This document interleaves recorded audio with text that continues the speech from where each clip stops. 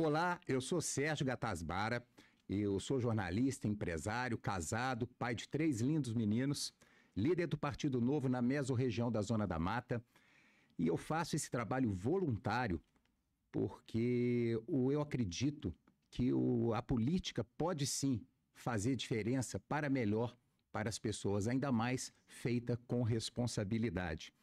O convidado de hoje no novo cast foi eleito senador pelo estado de Ceará com mais de 1 milhão e 300 mil votos. Ano passado, ele tomou a sábia decisão, né, Girão, de vir para o novo. Bem-vindo, senador Girão. Paz e bem, meu amigo.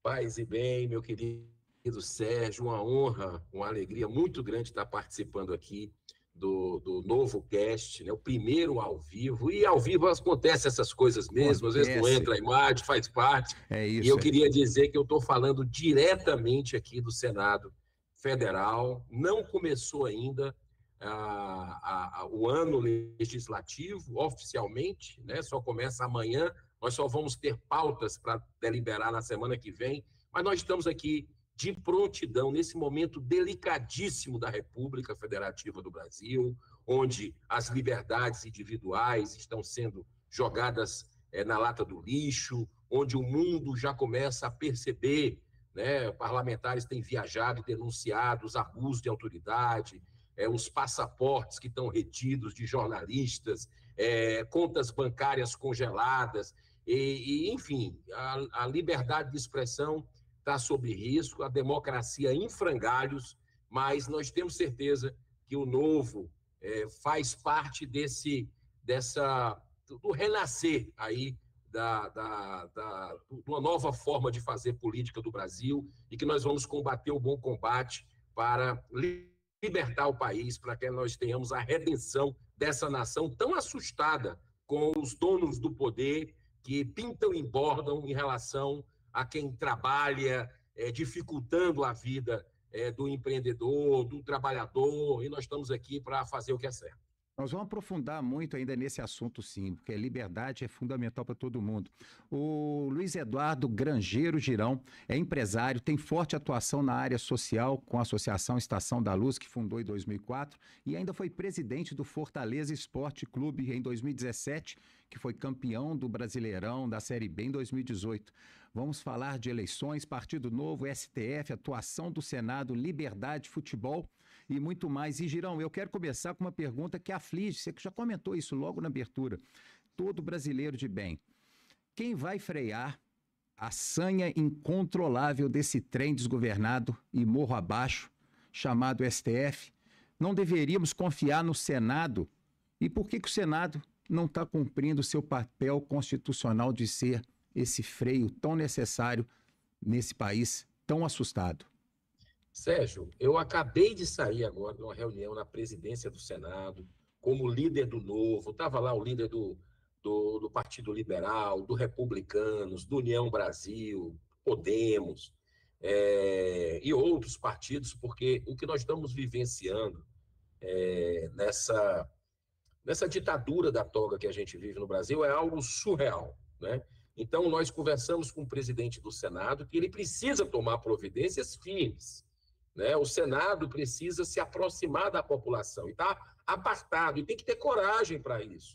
Então, nós levamos algumas pautas para ele, dentro delas, o, o, afastamento, que ele que tem uma boa relação com o ministro Alexandre Moraes, é, que hoje é, é o relator desses inquéritos todos que já não deveriam mais existir, inquérito sem fim, inquérito que ele é vítima, confesso, ele diz que é vítima, ou seja, ele tinha que se declarar suspeito, impedido para julgar, mas não faz isso. Então, nós fomos hoje com o presidente do Congresso fazer uma solicitação de que já deu, de que ele tem uma boa relação com o ministro, que, que consiga, é, como uma, uma última tentativa aí de entendimento é, político porque lá virou uma casa política também, infelizmente, que consiga esse afastamento é, do ministro Alexandre de Moraes. E também pedimos outras pautas que são fundamentais para libertar o Brasil desse mecanismo,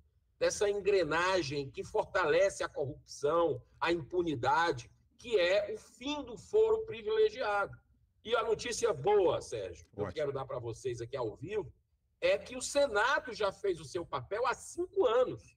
Já votou o fim do foro privilegiado, que é uma, uma excrescência, uma blindagem a políticos muitas vezes corruptos, com problemas, e faz com que esses políticos do Senado e da Câmara fiquem é, nas mãos de ministros do STF. Então, nunca vai rolar impeachment, nunca vai rolar uma CPI do Judiciário, porque fica o jogo de um poder protegendo o outro. Né? E a gente vê um superlativo é, é, supremo hoje mandando e desmandando no país com a anuência, aí que vem a preocupação maior ainda, é a agora do executivo. Porque o governo Lula, política e ideologicamente, é alinhado com esse STF político. Então, é, nós só temos uma maneira, que é o Senado se levantar é, perante a nação e cumprir o seu dever constitucional. Então, hoje nós fomos levar isso para o presidente. O presidente ouviu atenciosamente, foram duas horas de reunião, levamos algumas pautas para ele, e sexta-feira, agora, depois da manhã, ele ficou de dar um retorno, porque o Brasil urge um retorno para o que os abusos que estão acontecendo dia sim, dia não, uma caçada não apenas à liberdade de expressão, mas também uma perseguição política muito clara para acabar com a oposição no Brasil. Então, é, o que é que nós estamos fazendo aqui? Né? E eu posso dizer que tenho muita honra, muito, muita alegria de ter é, é de estar no novo, um partido que eu já admirava há muito tempo, Sim. que tem essa defesa, essa coerência muito grande da Constituição, da liberdade, é, e que o Marcel Van Hatten, a Adriana Ventura, é, o Gil Somar, e os Sim. outros deputados que na legislatura anterior fizeram um grande trabalho para o Brasil e eu estou podendo, com todas as minhas limitações e imperfeições, também ajudar nesse momento aqui do Senado Federal. Ô, Girão, você comentou aí do Marcel, é, você, Marcel, é, o Nicolas, o Gustavo Gaia, vocês são autoridades, vocês foram eleitos por milhões de pessoas, né? Os votos de milhões de pessoas. É, eu fico feliz de você é, trazer essa novidade, né, essa boa notícia aí. Essa notícia, se vai ser boa, sexta-feira a gente vai ter certeza, mas porque acaba que mesmo você sendo, vocês sendo autoridades com milhões de votos, tendo representatividade e tendo uma pauta tão verdadeira, acabam que viram uma voz na, uma voz na multidão. Porque é, com a imprensa surda, com o STF e o executivo coligados, é, é, é, tudo que a gente tem falado, tudo que a gente tem combati, combatido, o óbvio acaba parecendo estranho. E, esse, e nós estamos vivendo num país que está completamente com o, os valores invertidos. Inclusive, né, tem o, o, o, ministro do STF achando que é a própria Constituição. É, você sentiu que o, o presidente está sensível a essa situação ou é mais um posicionamento político para agradar vozes tão combativas como a de vocês? Não, eu senti que realmente ele, ele tem buscado, não talvez com a força que deveria, né, usando inclusive as suas prerrogativas de presidente, porque você sabe que tem 60 pedidos de impeachment engavetados na presidência do Senado, né, e, e com, muitos com, com documentação robusta. Então, o, o Senado ele não está cumprindo o seu papel como deveria. Então, é, o presidente ele tem pontualmente tentado é, proteger, é, é, é de uma certa forma, a, a, a inviabilidade, a, a, nossa imunidade parlamentar para que a gente possa continuar a combater, porque já estão invadindo é, lá na Câmara dos Deputados, gabinete à torto e à direita, né? E a gente foi colocar para ele a preocupação não apenas do, é, da nossa atividade parlamentar que está sendo violada, mas o povo brasileiro também está filipendiado, Sérgio. Sim. Hoje nós temos presos políticos no Brasil. Sim. Né? É uma insanidade o que a gente vê. Já um governo de vingança, que é o governo Lula, que o mote dele, o espírito dele é de revanche, basta você ver é, o que aconteceu usando a mídia oficial, o aparato do Estado, para debochar de uma operação da Polícia Federal envolvendo a tragédia da, da dengue no Brasil, da vacinação da dengue, e, e colocando ali um, um, uma, uma, uma, piada como vingança pessoal, Sim. partidária do governo com o governo anterior. Né? Então, quer dizer, nós estamos vivendo um, um, um, momento nessa nação que precisamos de serenidade, que precisamos de respeito à Constituição, porque não existe. Quando eu te falo que nós temos jornalistas, empreendedores, é, é, parlamentares que estão com rede social é, caçada. Tem, você sabia que tem um senador zumbi hoje no Brasil? Ué. Que ele não pode usar a rede social, ele não pode dar uma entrevista. Quem senador. Que é? Quem que é? Que é o senador Marcos Duval. Né? Sim, então, sim. quer dizer, é um, é, um, é um negócio tão absurdo que a gente está vendo, é, e não podemos conviver com esse tipo de coisa. Então, nós fomos lá, com muito respeito, é, essas lideranças partidárias que fazem oposição pediam um posicionamento porque chegou no limite do limite do limite, né? Não dá mais para conviver. Quer fechar isso aqui, é, é, pelo menos o salário da, da, que a gente está recebendo da população que paga o custo de 5 bilhões de reais para rodar, mais de 5 bi, o Senado Federal custa é, para o contribuinte. Então, é, que papel a gente está fazendo? Fazer figuração? Eu não estou aqui representando o cearense, e muitos brasileiros que acompanham o nosso trabalho para fazer figuração, não, Sérgio. Eu Nós estamos aqui para defender a, a, a, Constituição do Brasil, para que a, as políticas públicas sejam implementadas, cada um respeitando a independência, é, a independência entre poderes, né? Mas hoje a gente não vê isso a gente vê uma ditadura sendo instalada. Mas, ô Girão, você concorda que essa sensação é que as pessoas, pelo menos minimamente informadas, é, tem que, que o Senado e a Câmara acabam sendo realmente esse fantoche? Não, eles não. Ele é você, fantoche do governo, porque não vocês, mas acaba que, como instituição, né? É, como instituição é que de, de, voz ativa, eleita pelo povo, ele não acaba sendo fantoche do governo, o governo acaba manipulando, acaba que as pessoas eleitas não têm é, a atuação que se espera pela Constituição, né? pela lei, porque a gente está vendo tanto, é, tanta disformidade, e por que, que o, o, o, a Câmara e o Senado ainda conseguem ser o fantoche do governo e do STF? primeiro lugar, o fim do foro privilegiado, quando votar a Câmara cumprir o seu dever, o Senado já aprovou o fim dela.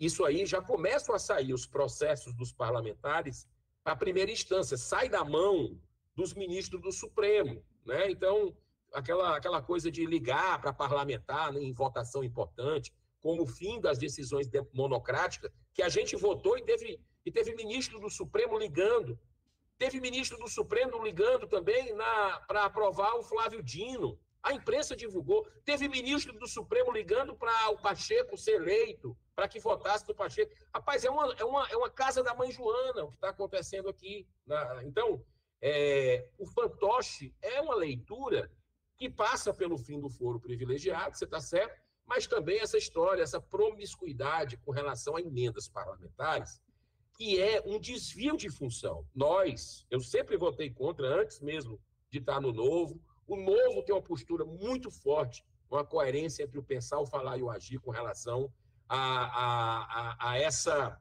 essa troca de favores, que muitas vezes é o uso político da força para perpetuação no poder de emendas parlamentares, sem falar em, em corrupção que é gerada a partir disso, e o governo Lula agora aumentou. Se o governo Bolsonaro já tinha aumentado muito, foi um grande equívoco do governo Bolsonaro, nós denunciamos isso na época. Agora o governo Lula está fazendo é, pior ainda. Né? Então, você pegar o, o, Vou dar um exemplo apenas. Tá, o, o orçamento está amarrado praticamente para o Congresso Nacional, para senadores e deputados com verbas astronômicas. E, e, e, e, tem aqueles que, que não usam só a, a, emenda constitucional. Tem a história do orçamento secreto, os beneficiados que são alinhados politicamente com o governo central. Agora, é, o fundo eleitoral, Sérgio, que foi votado no último dia do ano passado no Congresso, a, a, que o Novo brigou, até a última hora a gente estava brigando um plenário vazio. Para quê? Para que os deputados e senadores pelo menos colocassem a sua digital para que o voto fosse aberto, é, mas eles nem isso deixaram. Não aceitaram o recurso do novo, uma, uma emenda do novo para que fosse votado. E o PT, e o PL, junto com o governo Lula, passaram o, o, o, o 5 bi, Isso. 5 bilhões de reais praticamente do dinheiro nosso. Então, eu vejo isso de uma forma muito preocupante, mas uma coisa é muito positiva, sabe o quê? a que população está tá gostando de política. Você sabe disso. Sabemos, Você sabe disso. Sabemos. A população está acompanhando políticos na feira, no mercado, nas ruas. É, aqueles que pegam avião de carreira, né? E, e que está chegando. A família já está falando, poxa, mas está feio para a gente. Né? A população está cobrando um posicionamento, não aquele político que gosta de ficar em cima do muro. Né? Então, isso. eu acho que a safra, e é por isso que é importante a eleição municipal desse ano, de Sim. 2024, para vereadores e prefeitos, que é a base de tudo, para a gente mudar o Senado.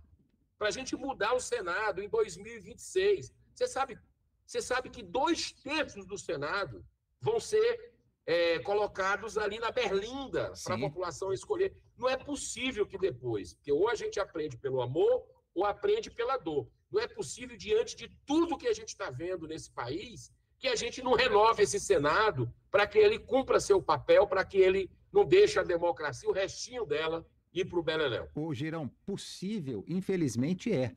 Se a gente arrefecer, é, e, e, não continuar nessa batalha, nessa luta, porque a, a, gente fica indignado, a gente fala, a gente grita, a gente fica nervoso, a gente debate, mas o, o quem decide, quem está com a caneta, é que vai conseguir virar esse jogo, porque senão as multidões vão ter que ir para a rua. E é só com multidão na rua que vai resolver. E não estou falando de ocupar exército, não é nada de golpe. A gente tem que ter a voz sendo ouvida. Se a voz não está sendo ouvida com quem a gente elege para nos representar, a gente vai ter que ajudar a gritar na rua. E é uma saída. Sérgio, já deveríamos ter voltado às ruas. Também acho. É, eu, eu, e a população, e eu entendo em paz, isso. como sempre foi. Em paz, de forma ordeira, de forma respeitosa. Mas a população, as grandes mudanças que aconteceram no Brasil, na história, foram através da população na rua. E ela está com ainda com um pouco de receita, está voltando. Graças a Deus, nós já tivemos é, em manifestações, por exemplo, sobre o, a, a, o Flávio Dino, não.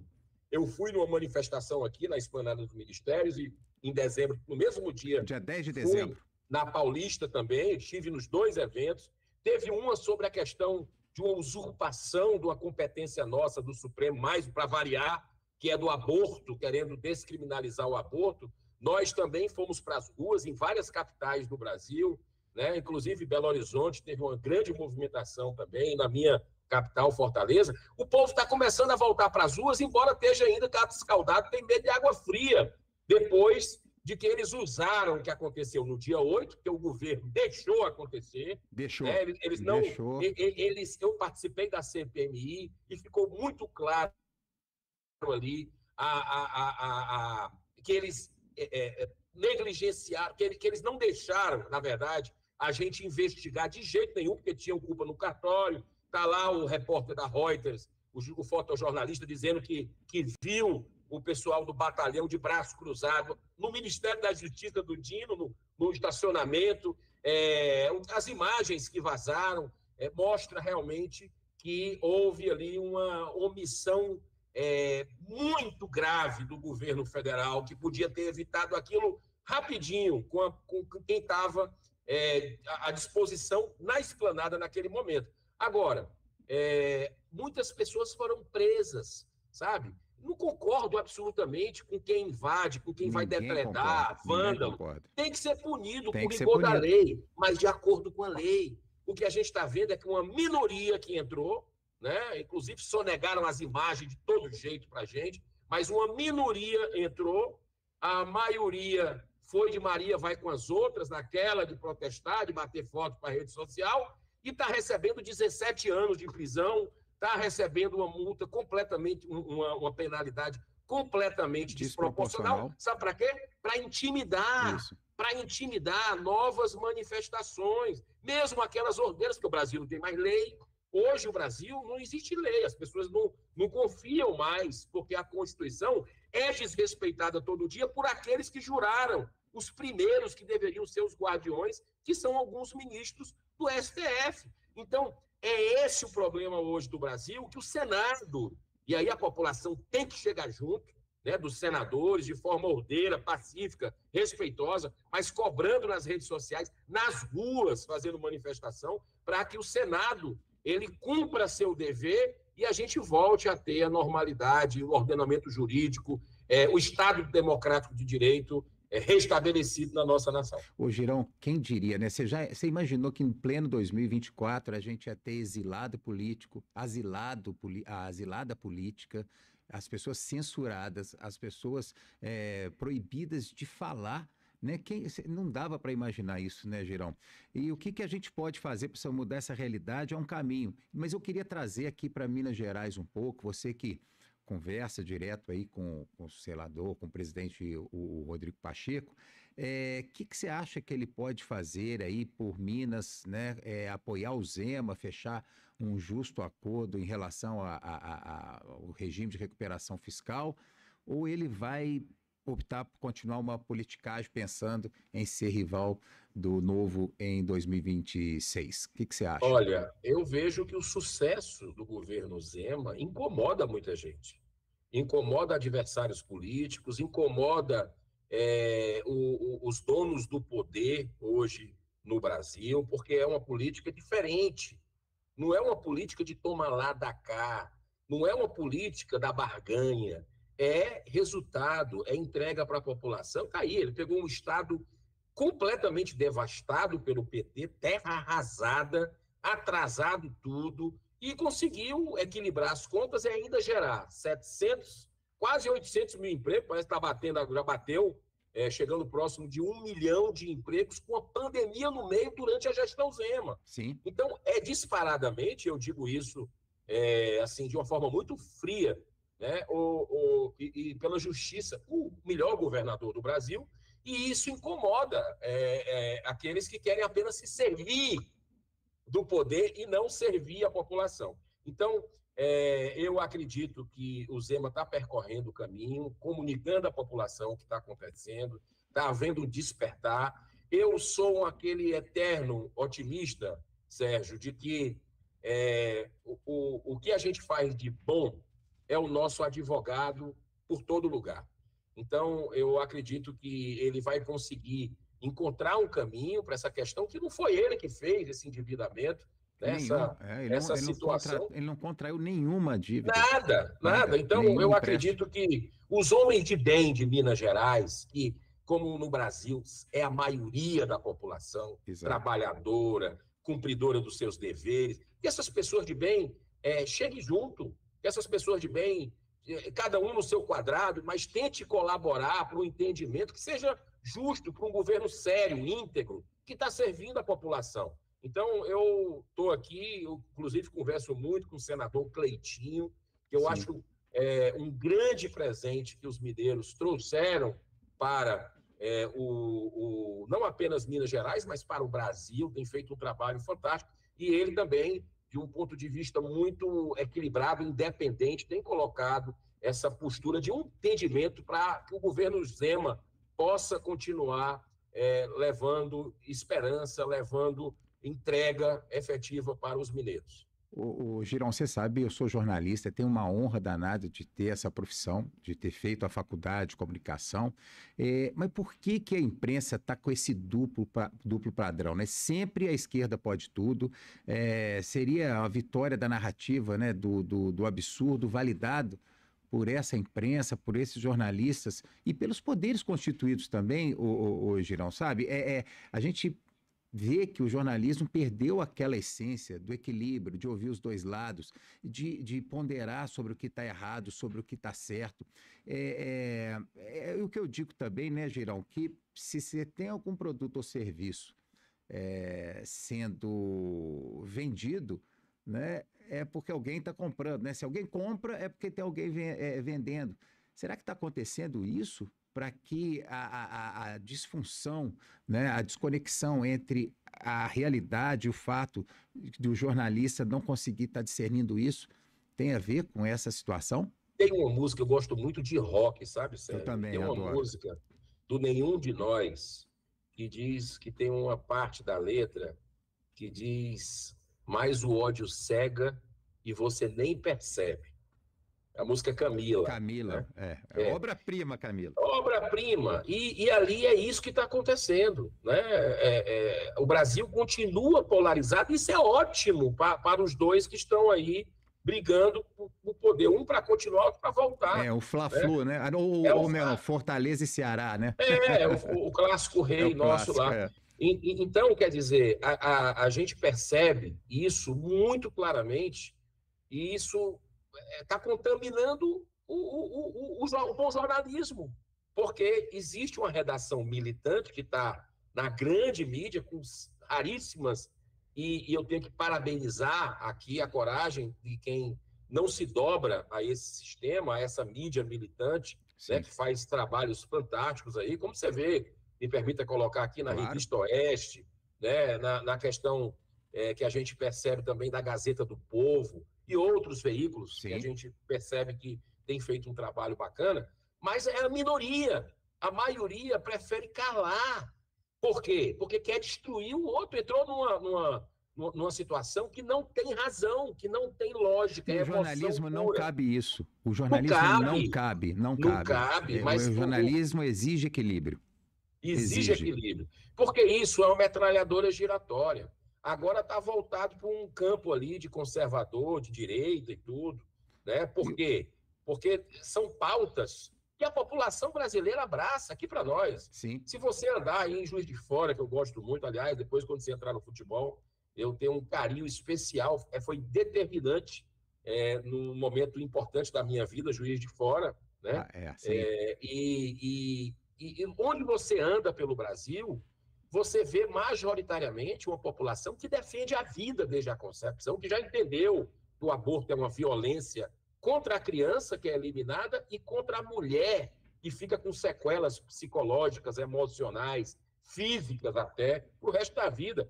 Que é, a questão da, a, da doutrinação nas escolas, ideologia de gênero, que é um, uma devastação contra a família, né?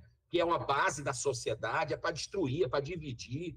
É, é, o conservadorismo traz algo que deixa as pessoas com o cabelo em pé, que querem, por exemplo, a liberação das drogas, até porque consomem drogas.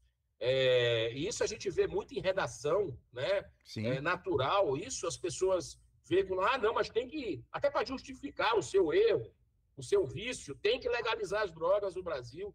E, e, e o conservadorismo vai contra a consciência, mostrando que onde liberou as drogas, isso é, teve uma multiplicação da violência, é, explodiu o consumo, não diminuiu o tráfico de drogas, enfim.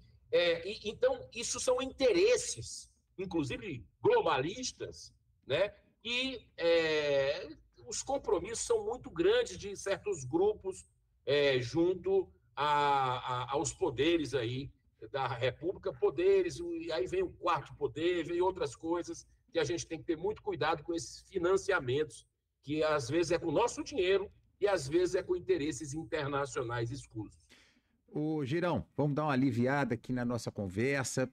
Vamos falar de futebol, mas antes de falar de futebol, sim, igual você tocou no assunto, o que te levou a ser político, o, o Girão? Rapaz, é, eu sempre fugi da, da, da política partidária, é, mas sempre abracei causas, como eu acabei de falar. Causas em defesa da vida, da família, da liberdade e da ética. Eu fui um defensor da Lava Jato, eu vibrava. Cada operação da Lava Jato, eu, eu ia assim com a minha família, a gente celebrava, porque via que a justiça estava sendo para todos no Brasil, finalmente, né? Poderosos, Sim atrás das grades, sejam políticos, empresários. É assim que tem que ser. E é, eu sempre abracei essas causas, mas tive convites para entrar na política e recusei a todos, porque eu achava que não era meu papel. Sempre fui muito tímido, muito na, de bastidor, é, mas queria que, que essas pautas é, nobres, vamos dizer, Sim. do conservadorismo, da direita, elas fossem preservadas no Brasil.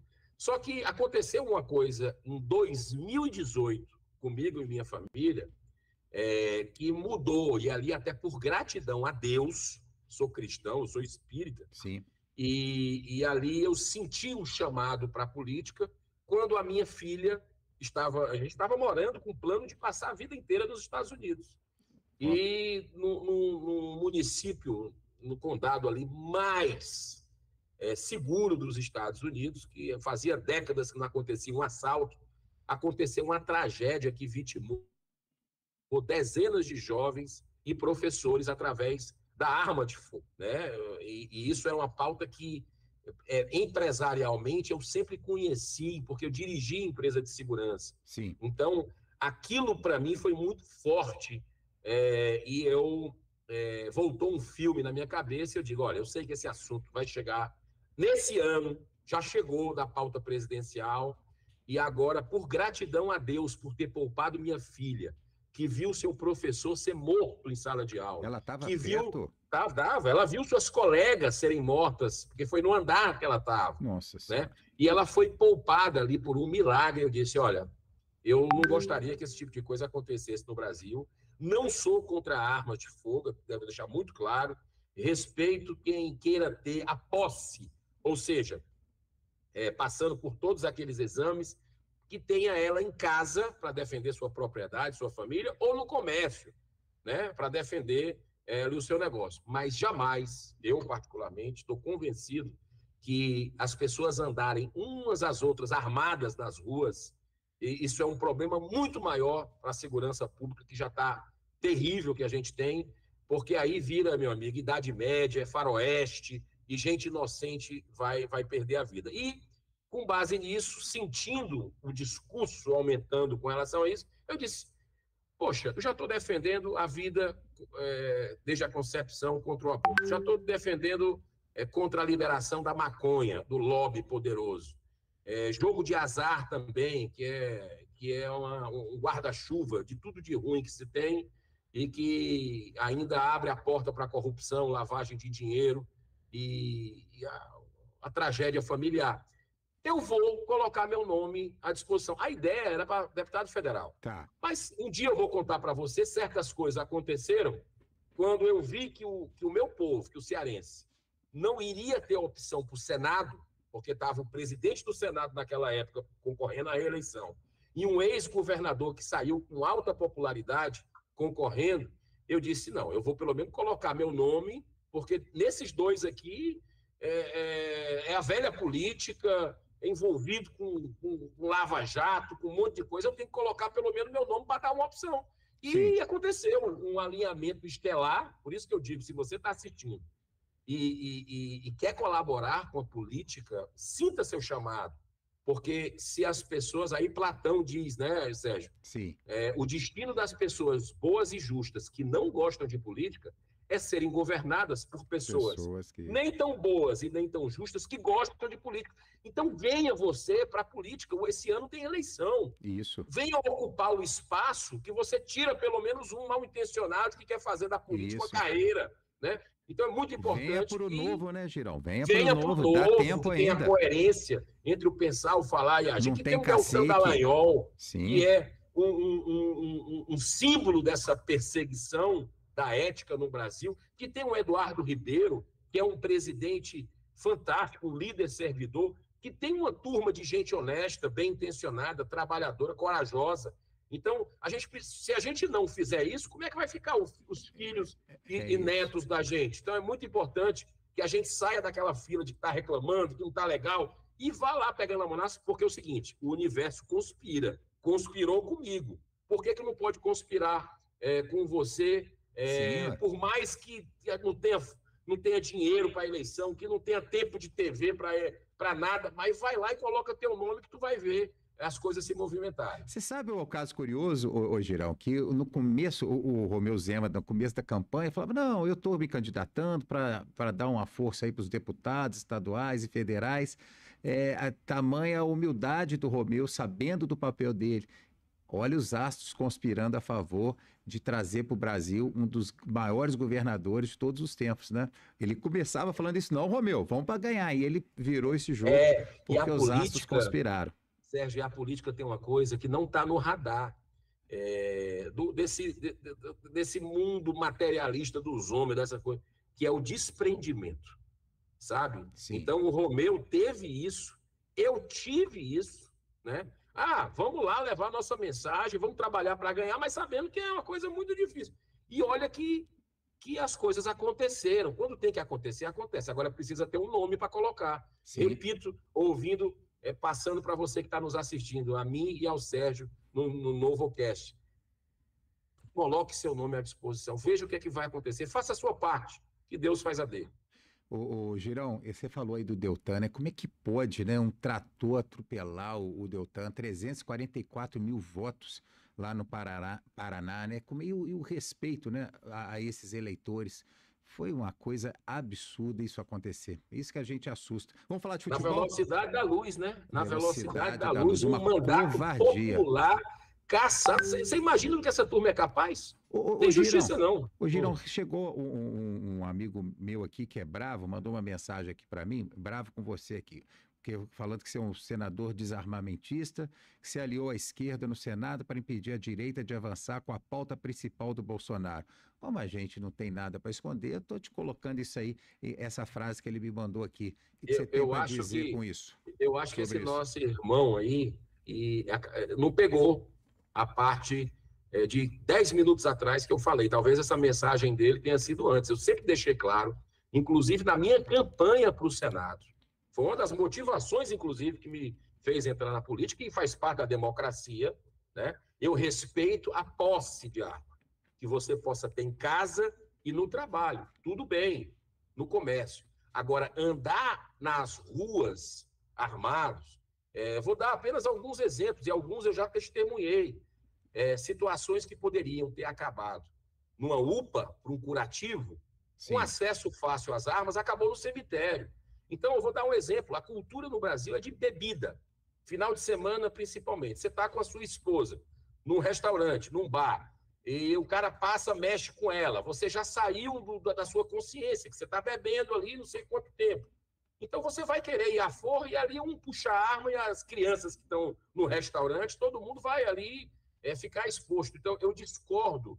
Acredito que tenha outros caminhos, como capacitar mais a polícia. Aí sim, a polícia tem que ter, tem que ter a, tem que estar armada até os dentes, capacitada, com ultra, de forma ultra moderna, treinado, né, com equipamentos, para que possa fazer blitz de buscas e apreensões de armas ilegais, para que possa é, fazer esse trabalho de enfrentamento ao crime organizado que hoje está mandando e desmandando nesse país também. A gente não pode. Sim. Eu sou de um estado é, completamente. É, é, é onde o PT foi completamente e ainda é omisso com relação à segurança é, pública. Né? Então a gente vive uma guerra, uma guerra que, que não encontra proporções do mundo de mortes de cearenses todos os anos lá. Então eu não sou contra as armas, eu não sou desarmamentista, tanto é que eu Sim. defendo que as pessoas tenham em casa ou no comércio. Agora, o porte de armas que o Bolsonaro queria liberar e liberou com boa parte a torto e à direita,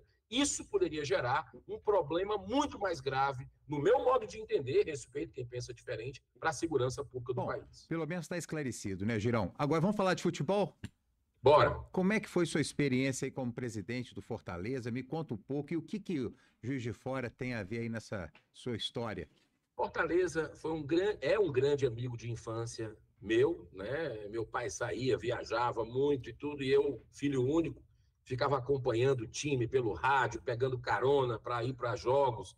E eu sempre entrei em campo como mascote pelo Fortaleza, sempre tive muito carinho. Futebol é uma é um, é um eu tenho um amo futebol, né? Uhum. E o Fortaleza para mim é a razão, né? Então assim, é... e eu tive a oportunidade em 2017 ser presidente do Fortaleza, né? E jamais imaginei isso.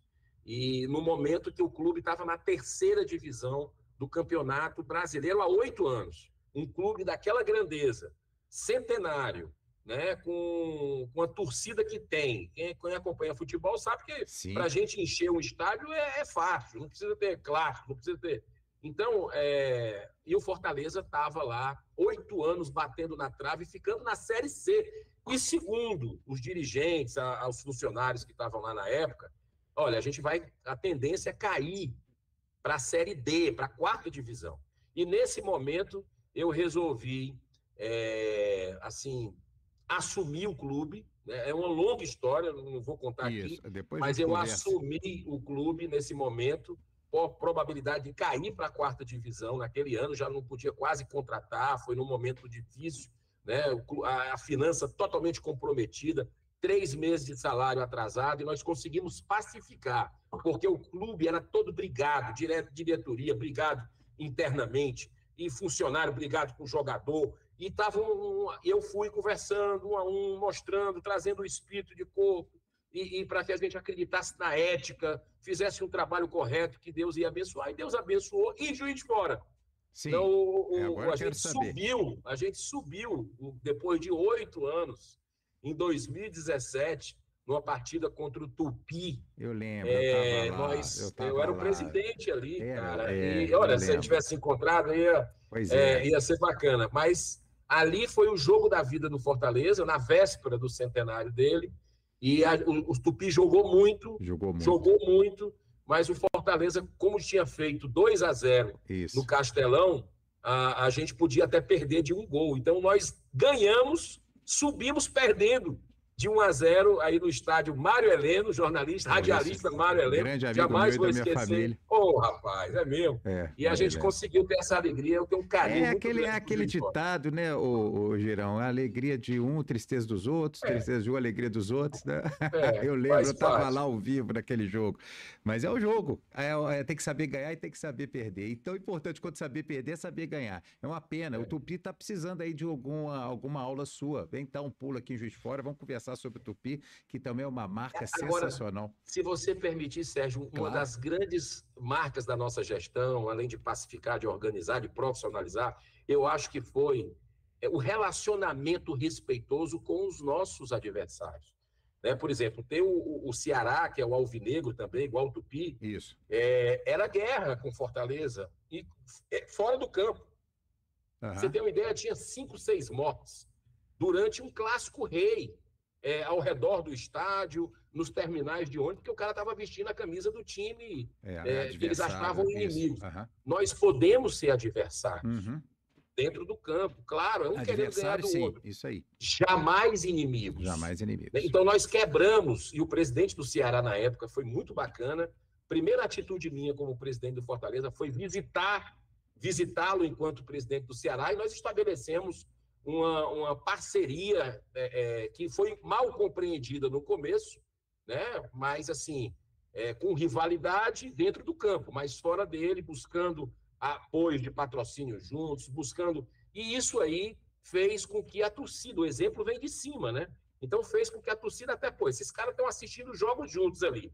Estão fazendo campanhas pela paz juntos. A gente não vê eles brigando, um esculhambando o outro. Vamos aqui. Então, a população, a, a, os torcedores seguiram o exemplo do, dos líderes, que eram os presidentes, e a coisa pacificou e chegou num ponto que não tem mais mortes. Né? A, a, violência no estado do Ceará aumentou absurdamente, mas dentro do futebol não. Olha que coisa interessante. É. É interessante. E como é que é o poder de transformação, né? E você vê, quando você fala que o, o Fortaleza estava com um monte de problema fora de campo, reflete em campo. Estava prestes a cair na Série D. Como que as pessoas mudando o astral, mudando a atitude, mudando a ação, ela vira o jogo, literalmente, né, Girão? É isso, é o, isso. O, o, Girão, e a experiência rapidamente, nós estamos caminhando para o fim, infelizmente, sua experiência como produtor de vídeo. Tem muita curiosidade ah, sobre isso. Rapaz, Eu sei que é uma longa história, mas só um ano passando, é, as pessoas olha, olha se conhecerem só. um pouco melhor. A vida, a, a, a, vida me levou, eu tive síndrome do pânico é, há uns 25 anos atrás, mais ou menos, e ninguém naquela época sabia o que era isso, né? É, ataques de pânico, e, e eu achava que ia morrer, jovem, achava que ia morrer, e aquilo foi um vazio existencial que foi criando dentro da minha alma, que só queria trabalhar, ganhar dinheiro, é, enfim. E deixei a família em terceiro lugar, os amigos em quarto lugar, enfim. E teve uma hora que veio a cobrança né, daquilo, a cobrança da consciência, a cobrança do espírito. E, e eu me reencontrei ali, depois desse momento difícil, através de um mineiro, Chico Xavier, ah. né, é, nas obras dele. Inclusive, recomendo quem não foi assistir um filme que traz muito conhecimento, que é o Nosso Lar 2, que está nos cinemas. Né? Eu produzi um dos filmes do Chico Xavier no centenário dele é, e, e, outros filmes nessa linha, porque eu queria compartilhar com as pessoas, sem querer doutrinar, claro. absolutamente sem querer converter ninguém, mas levar o conhecimento de esperança, de, de, de, de fé, de, de altruísmo para as pessoas, porque aquilo me fez muito bem, aquilo me tirou lá, me deu sentido à vida, né, de uma vida material, e eu comecei a procurar uma parte do meu tempo e colocar cada vez mais em projetos sociais, em causas, né? E foi a partir daí que eu comecei a ter uma outra visão de mundo e sou muito grato ao espiritismo e comecei a fazer filmes dentro dessa linha de cultura de paz, de espiritualidade, né? E, e produzimos aí acho que uns 11 filmes né, ao longo desses últimos anos, né? O filme do Divaldo Franco, uhum. do Chico Xavier, do doutor Bezerra de Menezes também, Sim. né? Tá o médico dos pobres. É, está ali ao fundo, exatamente, está é. aqui ao fundo. Então, assim, eu, eu, eu, eu, me sinto muito realizado em poder ter contribuído com uma, um, um, um, vamos dizer assim, uma parte do cinema nacional, um gênero do cinema nacional que ganhou muita força, que é esse gênero da espiritualidade que Sim. o Brasil dá show no mundo. Ô, ô, Girão, só voltando, quando o Fortaleza foi campeão brasileiro pela Série B em 2018, você ainda era presidente? Ou era Não, só um eu, tinha, eu, eu, já tinha você voltado tinha... para os Estados Unidos, tá. mas eu fiz questão de deixar o meu vice-presidente, escolhi o meu vice-presidente, que está lá até hoje, pelos valores, pelos princípios dele, e coloquei como vice para ele assumir porque a pressão foi grande para eu ficar. Olha, olha, olha, a questão do desprendimento, Sérgio. Olha Sim. que interessante. É, a, a, a, a, torcida do Fortaleza queria que eu ficasse no clube de qualquer maneira, porque eles estavam há oito anos na Série C, o clube sobe e eu vou para os Estados Unidos, vou embora, volto.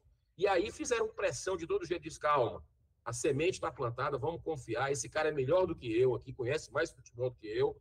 E é claro que eu dei o suporte no começo e tudo, mesmo lá nos Estados Unidos, mas ele conseguiu colocar o Fortaleza aí na Série A no ano seguinte, e, e colocar em competições sul-americanas. Agora, o Rogério Ceni, quem fez o primeiro contato, que ali foi a grande mudança de perfil do Fortaleza, estrutural e tudo, fui eu. Né? No, na, no, último mês que eu estava no Fortaleza, eu fiz a ponte com o Rogério Ceni, depois o presidente atual foi lá, fechou, amarrou e a gente está conseguindo fazer um grande trabalho no futebol brasileiro. O Girão, recebi algumas mensagens aqui no chat do Rodrigo Almeida, mandar um abraço para ele é, o Josimar Campos, parabéns pela live e parabéns para o senador Girão. É, e o Breno Alves tem uma pergunta. Caro Girão, parabéns pelo excelente trabalho. Sobre liberação regulação, poderia me dizer se o seu posicionamento em relação ao cigarro eletrônico mudou? Porque, é, segundo ele, já se comprovadamente se mostrou uma estratégia na redução de danos em relação ao tabagismo. Pois é, rapaz, ótima sua pergunta. Vai ser um grande debate aqui que está é, previsto para esse ano. Sou contra, né? tenho ouvido aqui a Sociedade Brasileira de Cardiologia, várias entidades de saúde, que eu continuo pensando o que eu sempre pensei. Né? Sou contra, acredito que nós temos que ver mecanismos aí é, para é, é, reprimir né, esse tipo de venda que está acontecendo, isso é fato. Lá nos Estados Unidos houve uma, uma, uma morte encadeada ainda no governo Trump, que eles repensaram a política lá, né? E a gente vê lá, aqui no Brasil, com muita preocupação, esse alastramento. Precisamos olhar, debater, fazer audiências públicas. O lobby é poderoso, porque como a indústria do tabaco caiu muito por políticas públicas, e nesse aspecto a gente tem que parabenizar o, o ministro José Serra na época, né? E, e agora eles estão querendo, via cigarro eletrônico, recuperar essa fatia de mercado que foi perdida de faturamento. E isso causa, tem causado mortes, né? E aí alguns dizem, né? mas aí se não regulamentar vai causar mais. Eu já discordo, eu acho que a gente tem que, é mesmo, é um pouco parecido com a questão da maconha, da legalização. Eu acho uhum. que a tolerância tem que ser zero com relação a isso, tem que preservar a saúde das pessoas, porque não é só a pessoa que adoece, Sérgio. Sim. o liberal pode chegar e dizer: ah, não, mas se o cara quiser se acabar em jogo, se o cara quiser se acabar com droga, ele se acaba. Não. Ele adoece a família, ele vai superlotar o sistema de saúde, né? ele vai aumentar ali, é, no caso da droga, do jogo de azar, a criminalidade. Né? Isso aí, estatística, ciência mostra isso é, de alguns estados que nós, países que nós pesquisamos. Breno, está aí respondido aí. O senador Girão respondeu sua, sua dúvida aí com, com relação ao, ao, posicionamento. Vamos para a reta final, né, Girão? Uma pena, mas vamos lá. Eu queria saber, nesse, nesse Brasil tão polarizado, como que o novo vai conseguir se destacar. Mas antes de você responder, eu queria falar sobre a importância da informação descentralizada. O que você percebe, eu percebo, as pessoas percebem, é que a informação descentralizada, além da imprensa ter perdido a força que ela tinha por não ter, é, como é que é que você, é, o ódio cega, mas e você não percebe, né? Você citou a, a música. É, a informação descentralizada está fazendo com que a população acorde. Então, o, o, fato, ele deixou de ser, é, de ter dono. Então, você vê vários é, espectros né, do, do que acontece para você poder tomar uma decisão. Então, como que o novo se posicionará nessa, nessa polarização? Ô, ô Girão, como é que você Vamos vê lá. isso? É, eu acho que a prioridade dos donos do poder hoje no Brasil né, é, é censurar as redes sociais. É o próximo passo, porque eles estão vendo que a população está assim, está é, entendendo de política, né, já tem é, um posicionamento e, e é contra o, o, que, o que o sistema quer. Né? É, inclusive há críticas, o sistema quer se blindar. Eu acho que esse é o grande lance dos políticos, dos ministros, do Supremo, enfim, dos poderosos de plantão. Então, eles vão tentar censurar através de um PL que já passou no Senado, eu votei contra em 2020, né? que é o Sim. PL da censura, é o 2230, e que está na Câmara. E, e o Deltan Dallagnol foi um dos grandes articuladores para não ser votado lá. E eles tiraram o Deltan. Eu, eu tenho para mim que um dos, da, da, da, dos problemas que eles resolveram é, tirar do, do, caminho deles ali era o Deltan. Foi, e foi por causa disso. Né? Porque o Deltan ele movimentava, ele, ele, ele levava para a população o que está acontecendo. Nós vamos tentar fazer isso né? O Deltan é insubstituível, tem um grande é, é, talento dele, mas a gente vai tentar fazer a nossa parte.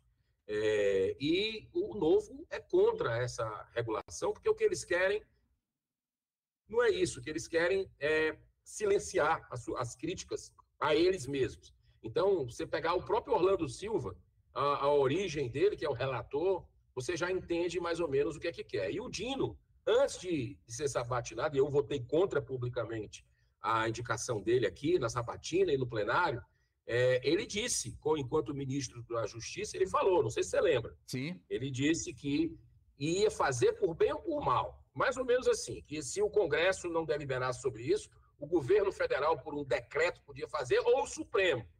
Então, quer dizer, essas coisas, quando vêm assim de goela para baixo, é porque não é bom.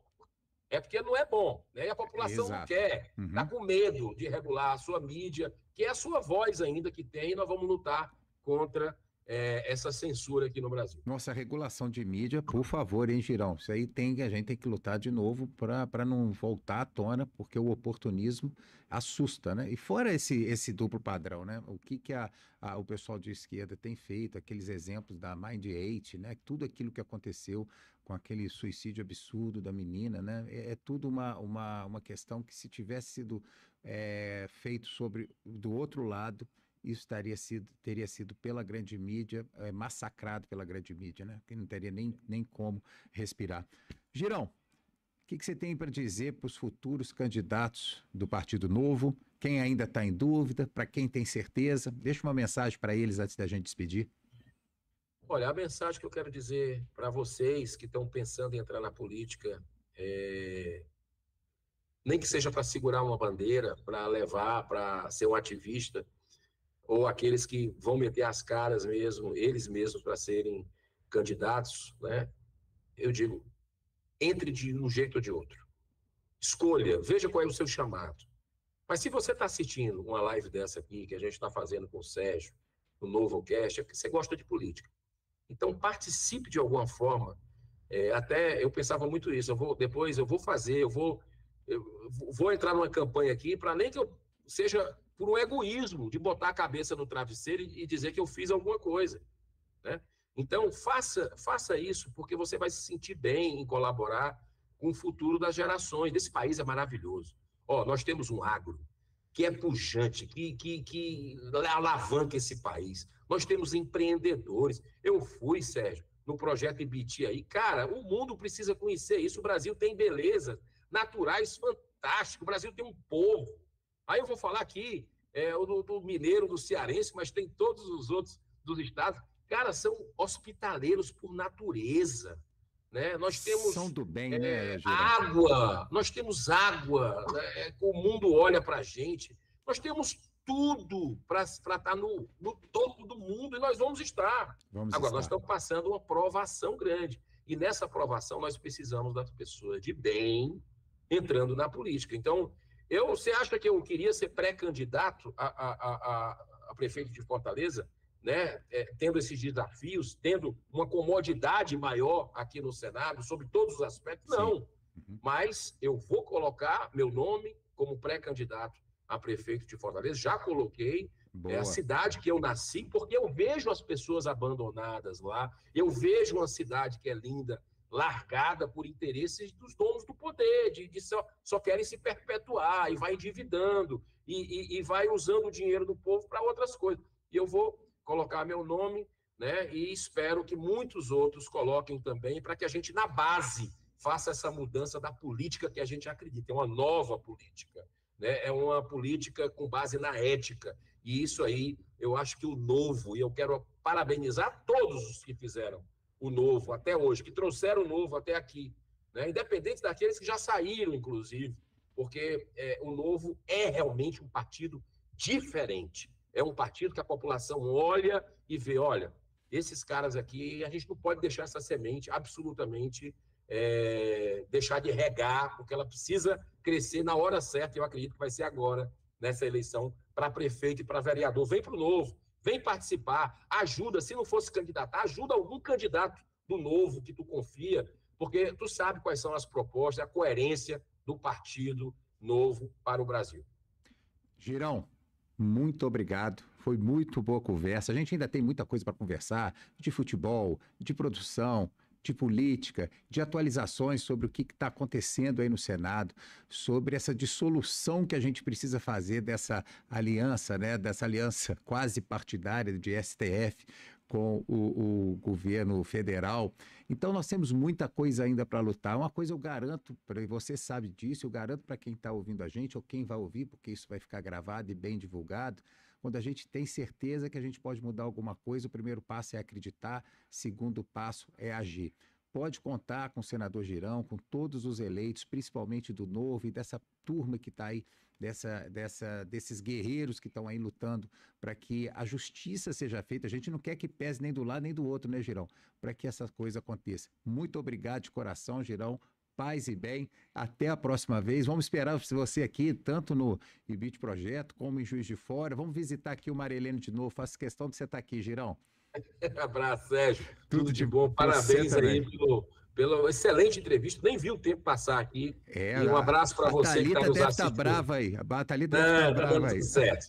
Abraço grande, muita Tudo paz. De bom. Deus você, abençoe. Você que quer acompanhar o novo é, Juiz de Fora, o Novo Minas, vá no Novo 30JF no Instagram, felice, candidate-se, ainda dá tempo, venha para o Novo, o Novo não tem cacique, tem processo seletivo, então você é mérito se você quiser se, se dedicar e fazer acontecer na política, que é, o, é linda, a política bem feita é linda, vem para o Novo que você vai conseguir ajudar a transformar esse país. E a gente começa a transformar o país dentro da nossa cidade, dentro de casa, dentro da nossa consciência e dos nossos corações.